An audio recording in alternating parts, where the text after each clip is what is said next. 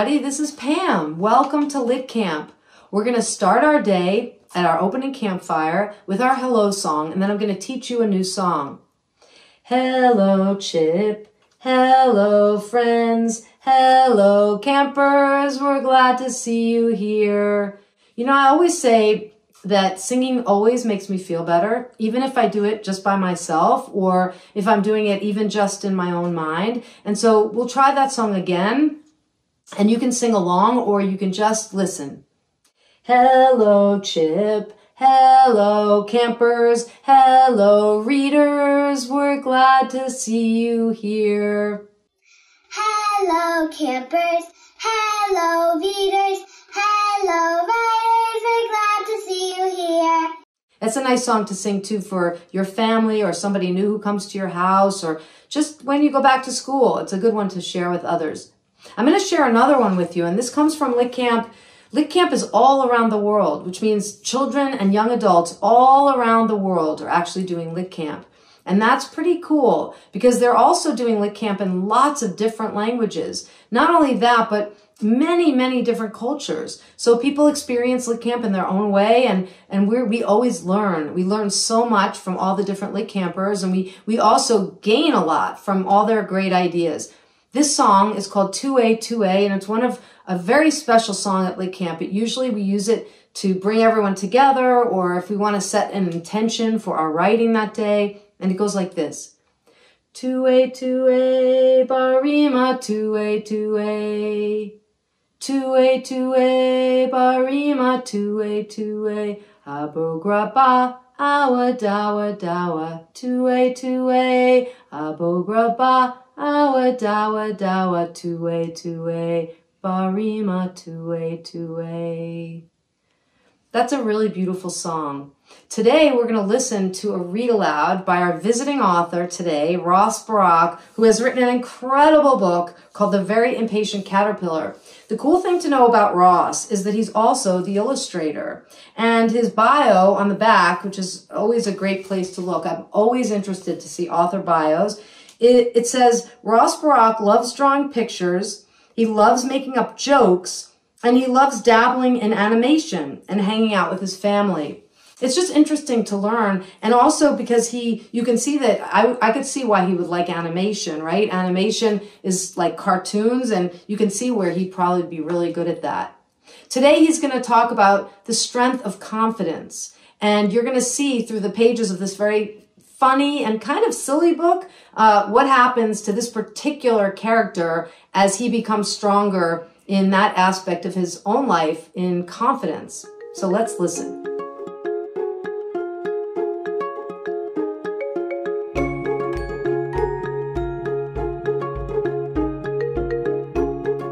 I'm Ross Burach, author and illustrator of The Very Impatient Caterpillar. I am so excited to have this opportunity to read my book with you, but before I get to the book, I was asked to talk to you about how the caterpillar in my story exemplifies confidence well. Caterpillar is so thrilled when he learns that he can become a butterfly.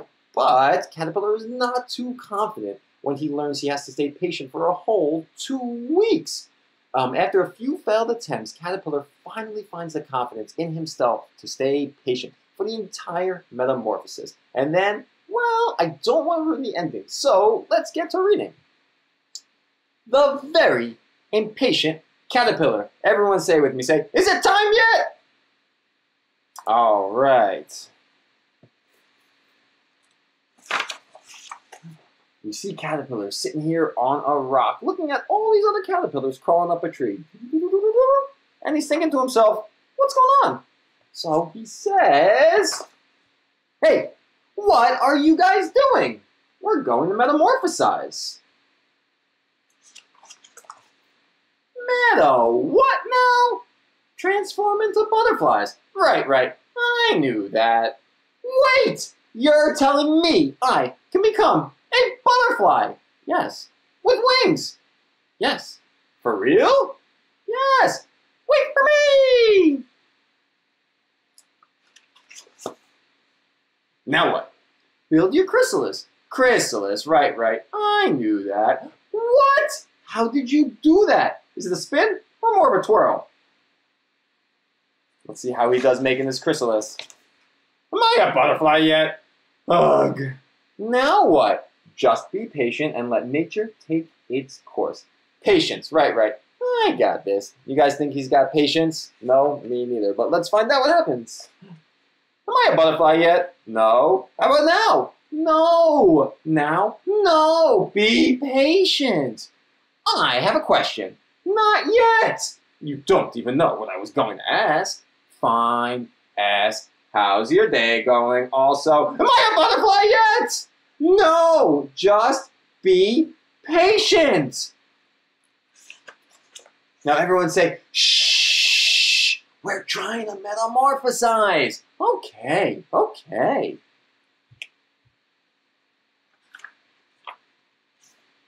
Obviously, I know this, but do you know how long this takes? Two weeks. Right, right, two weeks. Two weeks! Oh, what am I going to do in here for two weeks? Can I get a comic book or something? What if I need the bathroom? Anyone want to play a game? No? What if I want a snack? Hello, two pizzas, please. My address, the chrysalis. Click. Hello, hello. How long have I been in here? Boing, boing, boing. It's still day one. This is taking forever. That's it. I feel metamorphosized enough. Look out, world. Feast your eyes on this.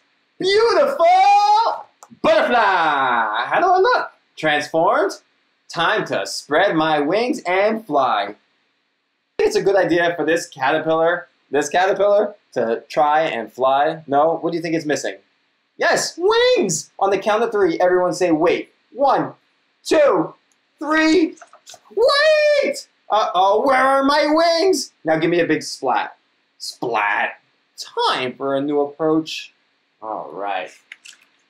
Let's see what Caterpillar has done. Ah, okay, you can do this. You can be patient. Oh, who am I kidding? I can't be patient. You are the little caterpillar that could. I am the little caterpillar that couldn't. Get a grip, you can. I can't, I can't. You can, I can't. You can, I can, you can, I can, you can, I can. And the squirrel is like, what is going on inside this chrysalis? Now, everyone with me, say, say with me, say, I can be patient. Say, patience is all in the mind. Be one with the chrysalis. Take a deep breath in. Hold it, hold it, hold it, and out. Look, day six. I'm doing it. Say, just be patient. Just be patient. Just be patient. Just be patient. And then two weeks later, he's crawling out of his chrysalis. I did it! I'm a butterfly! Woohoo! You know, I do feel transformed. And starting now, I'm going to be way more patient. That's great! Hey, where are y'all going? We're migrating.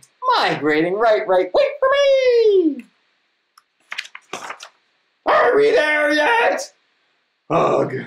All right. Thank you guys so much for listening to my book, The Very Impatient Caterpillar, and have a great day.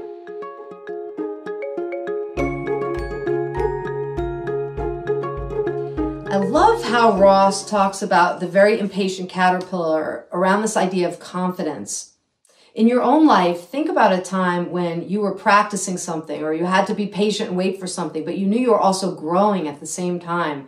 A lot of life is like that. We're always practicing things. I think sometimes we're practicing maybe physical things like getting better at kicking a soccer ball or maybe reading itself. But I also think confidence is about the emotional things. So getting a little bit braver about things or just getting more confident uh, to speak up in class or to try something new at home um, or to maybe if you're the younger brother or sister to maybe uh, say something to your big brother or sister that feels like a learning or a teaching kind of a thing so confidence comes in many different ways and today when we look at this book i I think this book is an amazing, amazing story about confidence, about just the character becoming more and more full of who he really is.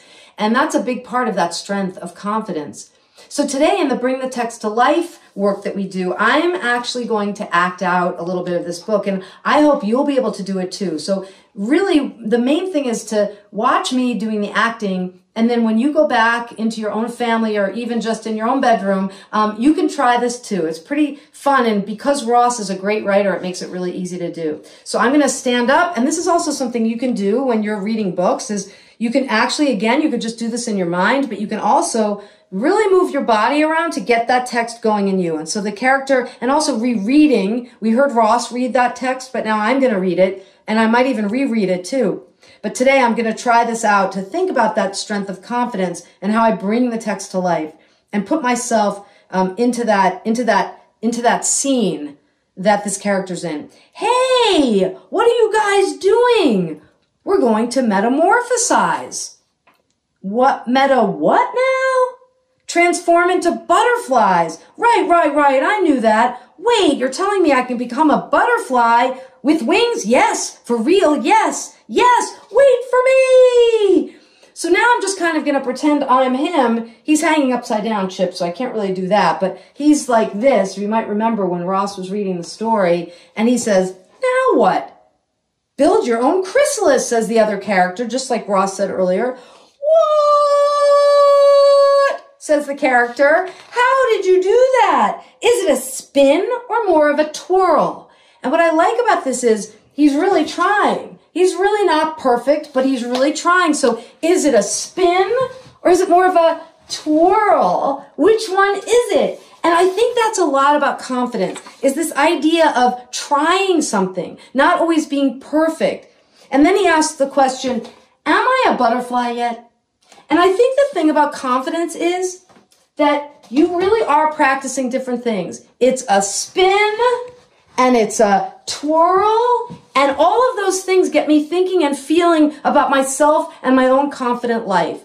Sometimes I have to almost almost walk differently to learn how to be a little more confident. And I think that's what this character's doing. He's trying out different ways of being to make himself feel stronger.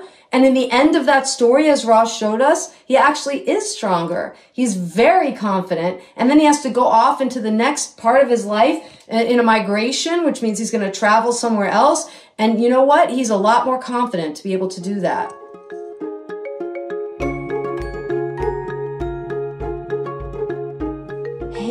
Guys, I was just reading a little bit to Chip. He is quietly taking it all in. And thank you also for holding my glasses today. I want to talk a little bit when we think about ourselves as being powerful readers, when we have this experience around a reading power time. What I want to think about today when I think about Ross's book is I am really very impressed with how he uses exclamation marks, periods, and all kinds of things that he does with punctuation. So if you look at actually this page and you see he's using big words, he's using big letters, big words, he's using question marks and exclamation points sometimes together. Um, and when I'm reading, I'm, I'm often thinking about how writers use punctuation. When I'm, as a reader, I'm very conscious of that because I think it's actually really hard to use punctuation well. So when you think about a question mark that's asking a question or an exclamation mark that's making you excited when you read it, the author is doing those things very deliberately. And I think that's pretty cool. So he does even use these little dots here that indicate that there's going to be more to come. And that's pretty cool too. So a lot of great things are happening in this book around punctuation. When you read today in your own books during bunk time, during your explore on your own time, I want you to be thinking about when you notice punctuation. In Ross's book, he uses it to lift the level of our energy as readers and also to really convey the inside thinking of a character. You can do that when you're reading today. I want you to be thinking about that. What does the punctuation do for the books you read? When I think about myself as a writer, I think about how reading is like breathing in and writing is like breathing out. And it takes a lot of confidence to actually write things down. It takes a lot of confidence, meaning, again, that we're always practicing. And writing is a lot about practice. Every day I sit down at my computer or my writing pad. Sometimes I write on paper, sometimes I write on a screen. And I'm always practicing my confidence. Even though I've written a lot of books myself, I'm still practicing every time I sit down to try to write something, but it's always worth it because my confidence builds even just by writing. I get stronger and I actually, every word I write and every minute I write makes me a more confident writer, even if it's not perfect. So today, the way I'm going to think about writing, and I hope you're going to do the same, is I'm, I'm very interested in this part of the book that Ross wrote, and I'm going to use it as a way to inform my writing. So he said this, on this page or on this spread is what we call it, it's where he's really trying to convince himself that he's good enough and strong enough to do this thing, to make this metamorphosis, the change in him from the caterpillar to the butterfly happen. So he says, okay, you can do this. You can be patient. Oh, who am I kidding? Get a grip, you can. And then he says, I can't, I can't. And then he says, you are the little caterpillar that could. And then he says, I am the little caterpillar that couldn't. You can, you can't, you can, I can't. That's exactly what growing confidence feels like. It feels like you're kind of back and forth between I can, I can't, I can, I can't. That is so normal. And please don't worry when you feel that way. I feel that way when I'm sitting down to write, especially when there's nothing on the screen or the page. Every day I try to write on lots of different things. So sometimes I write on a notepad, sometimes on a screen. Today I'm going to try to write on my phone because that's, it's so portable and I can take it with me. So if, if I have, if you have a phone to write on or your parents' phone and you could try a little bit of writing today on there, that's great. If you don't have a phone, don't worry about it at all. You can write on any scrap of paper. And if you don't have paper, you can just think in your mind and save your stories there because your stories really are important. Today I'm going to write a little bit about confidence. I'm going to write about a time in my life when I was learning how to be confident. This was a time, and I'm just going to write about it right now, Chip.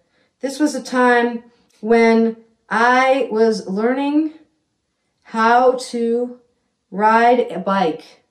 And my dad was teaching me, and I was scared. And I'm going to write that too. I'm going to write about my feelings at the time because I liked, I was pretty impressed with Ross, how he talked about his feelings. And actually, I'm going to try using a, a little bit of an exclamation point there just because I like that Ross did that too.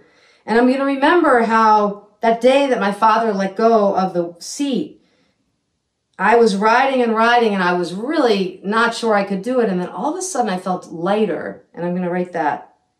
And I realized that my dad had let go of the seat. And he was a really, he was a really good dad.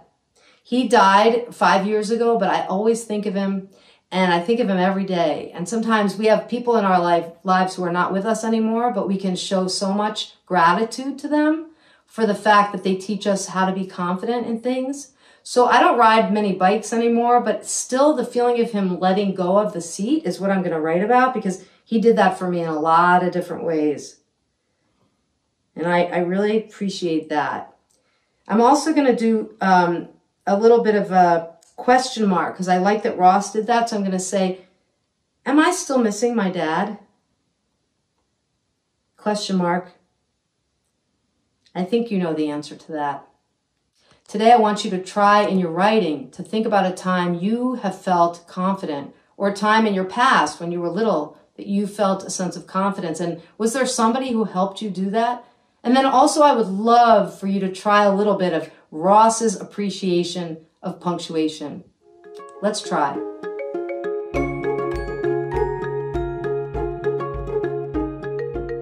Hey Chip, we're going to talk a little bit about bunk time today, about what happens when we explore reading on our own. So at home, today or tomorrow or the next day, definitely make time for this for reading on your own or reading next to a, a your sibling or, or someone else in your family. But just to take that time is actually going to build your confidence as a reader. You might not feel like the best reader or you might feel like a great reader. Either way, it doesn't matter. Having the time every day, even just 20 minutes a day, is actually going to make you a super reader.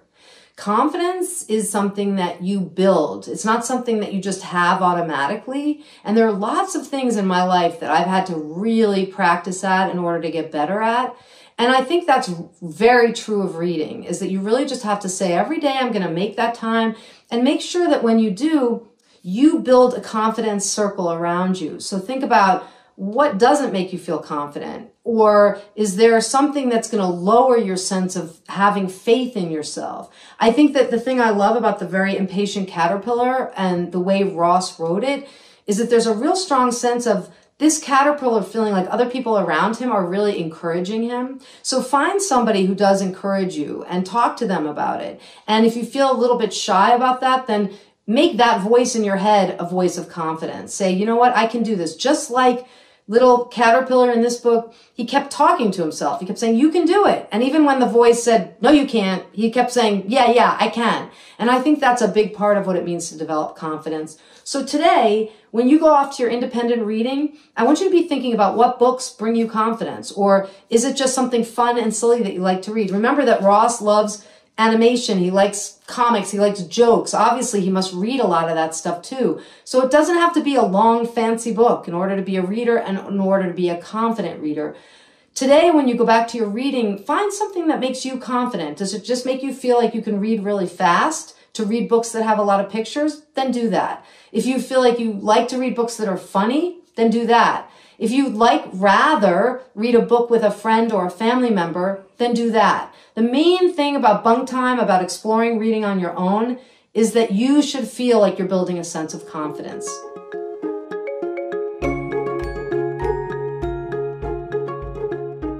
As we come to a close, I want you to be thinking about this strength of confidence and how you can take it with you back into your life to give to someone else. The great thing about the Camp is that we're always thinking about affirmation. And affirmation is when we're really celebrating each other. Well, we do that through shooting stars. So I'm going to give you some today. You can catch them and I'm going to pretend to catch some from you. And we can do that by celebrating the strengths of others. Building confidence means we also compliment ourselves. We give ourselves a confidence compliment. So today I'd like for you to think about what's a confidence compliment you could give yourself.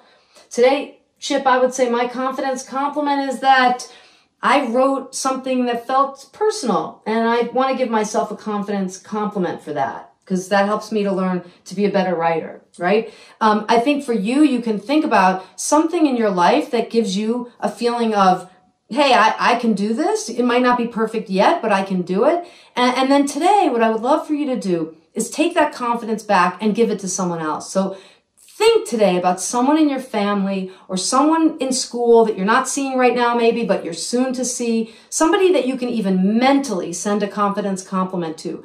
Even better, if you have access to the internet, you could send an email or text message on a phone or on a video call to share with someone what you feel. Wow, I noticed that you're getting better at that. Or, you know, saying to your mom or your grandmother or your grandpa or your dad or somebody in your life, Hey, I want to give you a confidence compliment. It could be something really small, like I just love how you say hello to me in the morning, or it could be something where you notice that I noticed that you've been You've been practicing how to cook. That's really good. I admire you for that. So today, let's go back into the world and give a confidence compliment to someone else. And as we come to a close today and we sing the farewell song, I want you to be thinking about what you feel confident about or what you're practicing getting more confident in. And I just want to say how I appreciate you. I appreciate what you're doing to work hard and to be a reader and to be a writer and a storyteller and all of those things that you do, I want to give you a confidence compliment. I want to say I appreciate you and I see that you work hard and I feel for that. So with that, let's come to a close.